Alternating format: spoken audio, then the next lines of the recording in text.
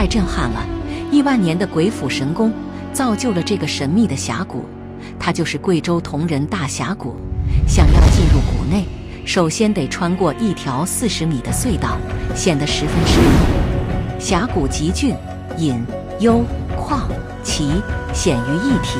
峡谷像是利斧劈开一样，长约二百多米，两边石壁高三百多米，最泽处仅仅四米。石壁上的树相互连接在一起，从中漏进天光一线，有鬼斧神工之奇。